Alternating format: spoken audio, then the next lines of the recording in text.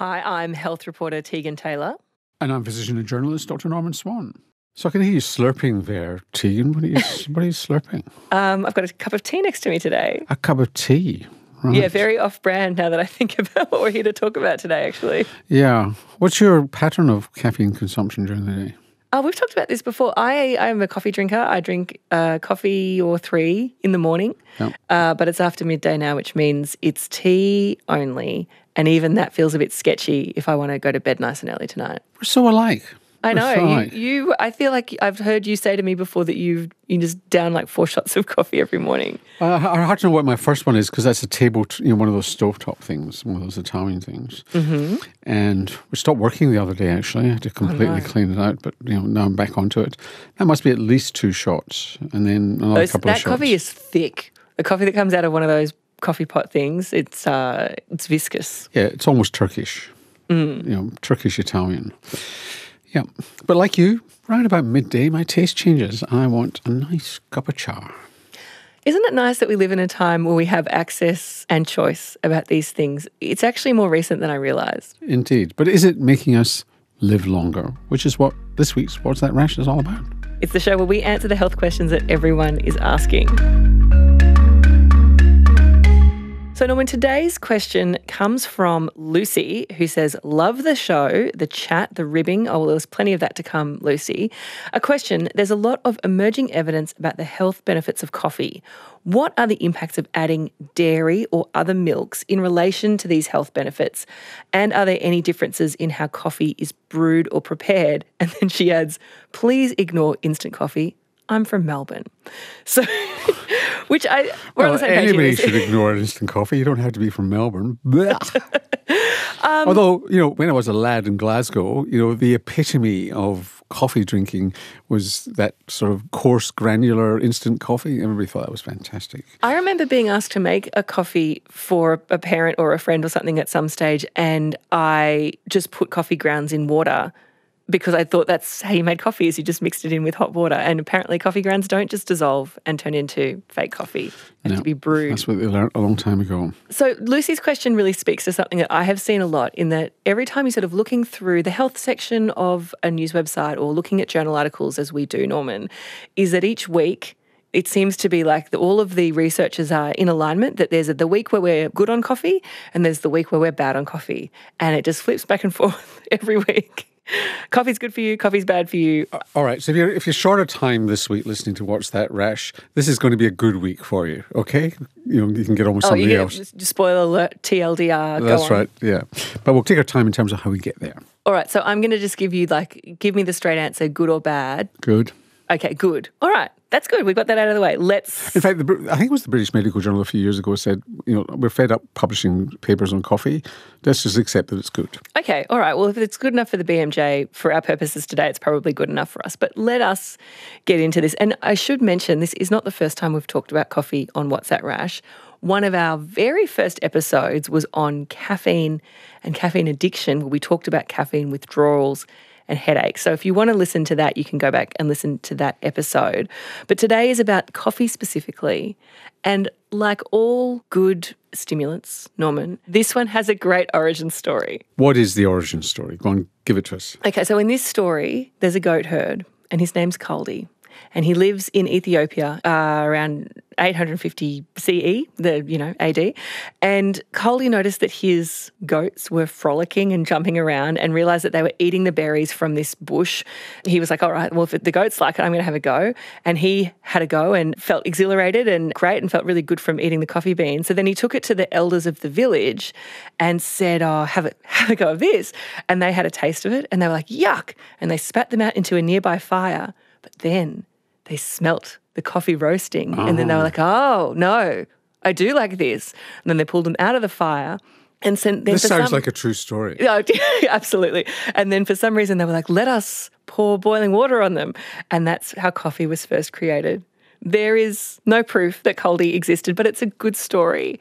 And do you know what it reminds me of? I know that with tea, there's a story about like a Chinese princess who sits under a tree with like a cup of hot water and the leaves fall in and she discovers that it tastes good and it's tea. I just love the idea that there is one magical being that kind of just happened to discover this product that we all kind of hold so dear now. But of course, someone must have been the first person to try it. Well, yes, it has the ring of truth about it. Have I ever told you, told you just changing subject for a moment, the best. Are you cup- a princess sitting under a tree? No, no, I wasn't a princess, but I was about a four year old and the best cup of tea I ever had. And still, you were to, four? Well, about four or five, maybe. We had a railway line, a goods railway line, just at the end of our driveway. And every day, these railway workers would come to a shed just there and they'd brew up tea in this little tin, pretty much like the army, and then they would have their jam sandwiches, and I'd go along and they'd give me a taste of their tea from this tin, and I still to this day have not tasted tea as good as the railway workers' tea across the road from our house. That is really beautiful. But they, they wouldn't have ever had coffee. Okay, so that's a that's a cultural thing then, is it? Why would you why do you say that so decisively? Oh, it was the day I would imagine. Oh, I don't know at the age of four whether there was instant coffee in the shops. No, the reason I ask that is because the kind of migration of coffee and in its stronghold that it has on us now is pretty recent and, and, really interesting. I think people know about in the United States. One of the reasons why coffee became popular there was because tea was unpopular for uh, independence reasons. But in Australia, tea was much more popular here for a really long time, up until the beginning of the 20th century. I think because it was a little easier to obtain here. Coffee, they couldn't get it to grow well in Australia. It kind of petered out after the first beans were brought over from Rio de Janeiro with one of the earlier fleets. But then during the wars, there were a lot of American. Well, so where you're getting to just before you get to the war yeah, yeah. is that we would have been on the colonial export route America abandoned for a while, which was a market for British tea from yes. the Indias. Yeah, we were a ready market for something then they didn't have the states anymore. Yeah, no, it's a good point. But then in Australia, basically, it came in sort of in the Second World War. There were a lot of American soldiers here. They had coffee. That was where they were being billeted into Australian homes and they, they wanted coffee. And Australian homes basically figured out how to make it. And then this is how recent Australian coffee culture is. Obviously, the 1950s is when we saw a big influx of migrants from Greece and Italy. And the Italians especially brought their espresso machines with them. And now, kind of anywhere you go in the Western world, Australians are sort of synonymous with good quality coffee like flat whites. It's it's part of what we're known for now, but it's quite a recent thing. Yeah, and the and the first coffee shops in Sydney and Melbourne they were incredibly successful because the profit margin on an espresso coffee was enormous. Oh, I don't know if a coffee shop owner these days would say the same thing, though. I think they're really feeling. No, they're complaining about it, but it, you know, once upon a time, it was a good business to be in. Can I tell you something? I am repeating a story that I have read, and I don't know if this is true or not, but it's really fun. So, you know how we were talking about the Danish milk thing a couple of weeks ago? Yeah. So the question was about dairy causing acne. And our correspondent said that when they were in Denmark and they ate dairy over there, they didn't get acne. And then when they were in Australia, they did. We were nice about it, but we were basically like, probably not. This story makes me think maybe something differently. So apparently, the flat white, obviously an Australian thing, New Zealanders will say that it belongs to them. It doesn't, it's ours.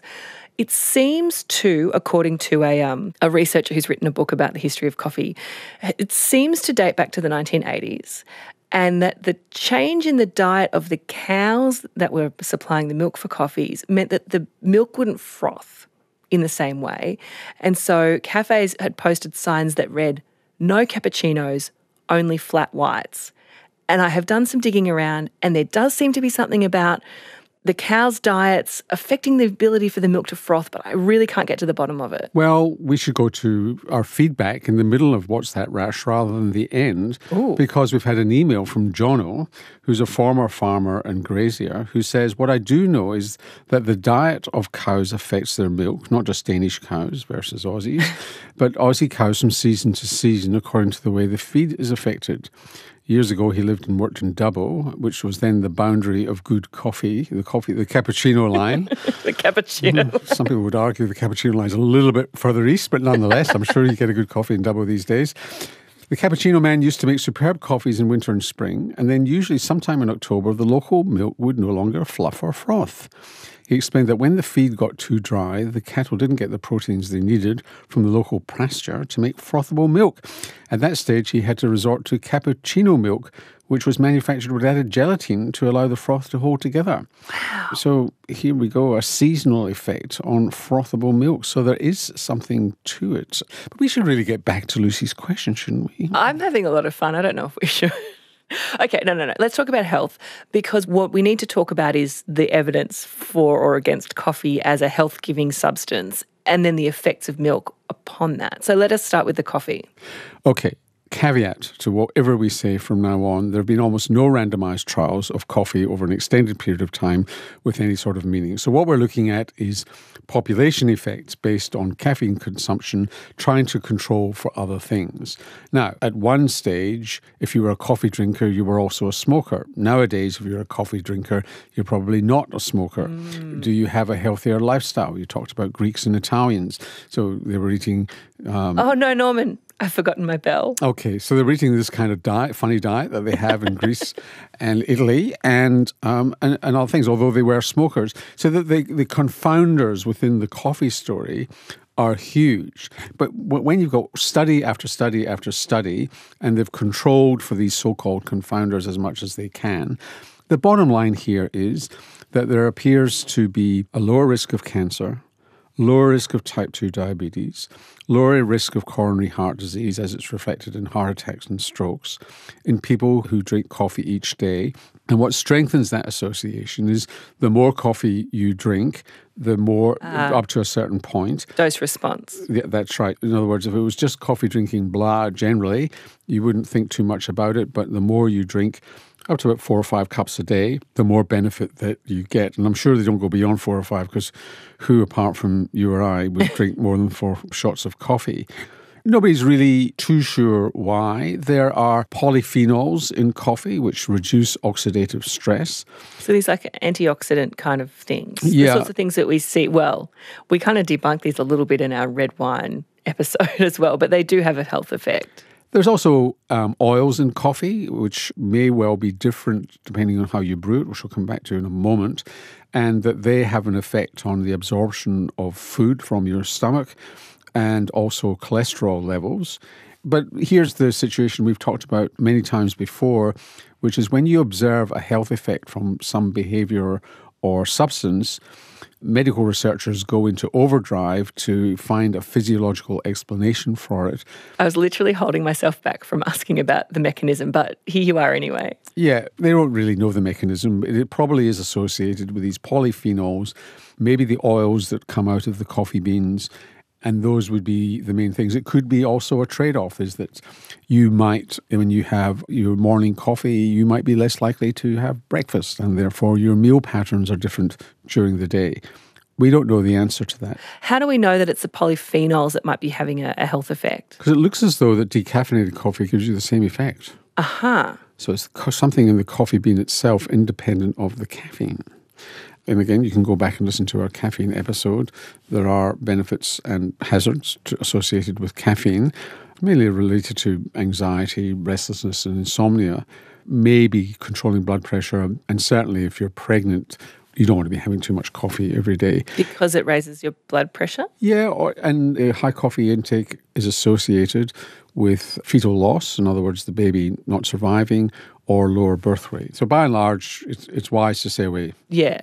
Okay. If we're talking about that, I feel like we do need to talk about dose because you said high caffeine intake. If we're talking about pregnancy loss, I feel like having a really clear number about what the recommendation is is important. A maximum of 200 milligrams of caffeine a day, which is about two or three espressos. Okay. So now we need to talk about the milk effect there's mixed evidence, you won't be shocked to discover, um, about black coffee. Most of the studies suggest that black coffee is what's associated with the benefits. But when you look at studies done in the test tube, where they've deliberately combined black coffee with milk, you find more biologically active polyphenols. Oh, so the milk is perhaps supercharging the coffee in some way? It might be. It tends to be skim milk from the studies, but whether they've fully studied full fat milk, I don't know.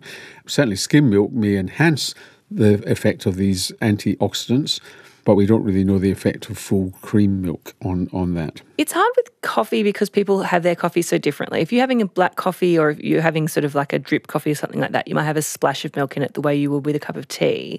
But in Australia, I think a very typical way of drinking coffee is a flat white or a latte where you're effectively having a cup of milk with an espresso shot in it. And that's a really different dose of milk to a splash that you'd have in a black coffee.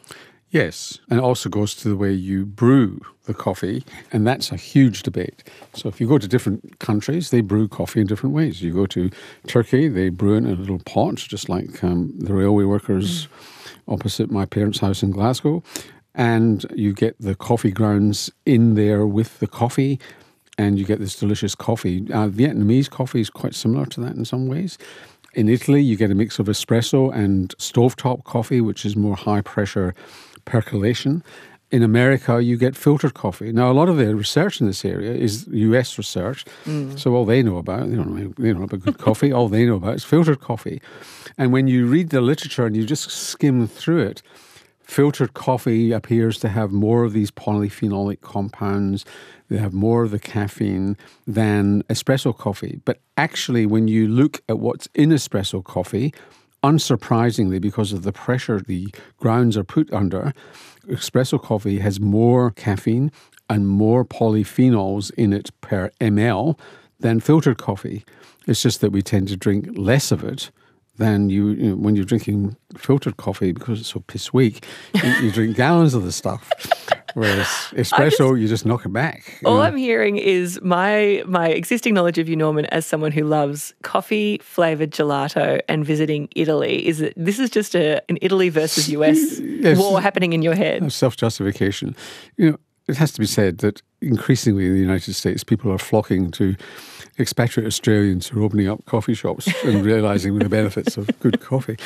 So you've got to be careful about this different way of brewing coffee is that some ways of brewing coffee will increase the phenolic content and make it more concentrated, but that's a function of volume as well. So if you drink filtered coffee, then you will get the polyphenols and you will get the caffeine because you're drinking more of it. But if a couple of espresso shots, you're getting a pretty good dose. Are people really drinking coffee for health benefits though? Like, let's be real. They're drinking coffee because they like the taste. It's a fun little ritual and it helps you stay awake when you haven't slept enough the night before. Yeah, I don't know anybody who drinks it for the health benefits. It's just a sense of relief that it's not doing you any harm. I, I suppose what follows from that is like, if you don't drink coffee, should you start? Or should it just make you feel a bit better about not quitting it, like ignoring those headlines that seem to promise that it's bad for you somehow? I, I think a lot of people who, I mean, this is anecdotal, but I think a lot of people who stop drinking coffee is because of the psychological effects. We haven't talked about that. So talk me through what you mean. There is an increase in anxiety there's probably a reduction in depression, but there's certainly an increase in anxiety and insomnia. People don't like that sense of anxiety, that twitchiness that they get with coffee, and some people are sensitive to that. That's obviously if they're drinking caffeinated coffee. And some people don't like the idea that if they don't take it for a day, they get a headache and they get withdrawal effects. And there are people who just feel better when they don't drink coffee anymore. Me, I couldn't cope. So, bottom line for Lucy then coffee is good for you. You don't have to drink caffeinated coffee to get the benefits. And if you put a bit of milk in the coffee, the chances are you're enhancing the effects of the coffee rather than detracting from them. It feels too clean. I feel like there should be more caveats here, Norman. I feel like there should be some health warning don't drink too much or don't drink too much full fat dairy or something like that. Is it really that simple? Yeah, I think it is. And just pivot at midday to a nice cup of tea. I've nearly finished mine right here. Oh, we need a sound effect for tea as well as the Mediterranean diet, clearly.